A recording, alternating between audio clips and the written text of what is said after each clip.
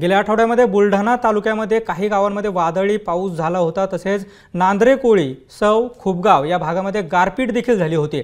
या पावसामुळे ऐंशी हेक्टर क्षेत्रामध्ये नुकसान झाल्याचा अंदाज व्यक्त होतोय. नांद्रा कोळी सव खुपगाव रुईखेड या भागामध्ये पावसाची तीव्रता अधिक होती. या गावामध्ये बोराच्या आकाराच्या गारा देखील पडलेल्या होत्या. यामुळे भाजीपाला कापूस सोयाबीन या पिकाचं प्रचंड नुकसान झालं आहे आता नुकसानीचे पंचनामे करून झालेली नुकसान भरपाई मिळावी अशी मागणी शेतकऱ्यांकडून होऊ लागली आहे.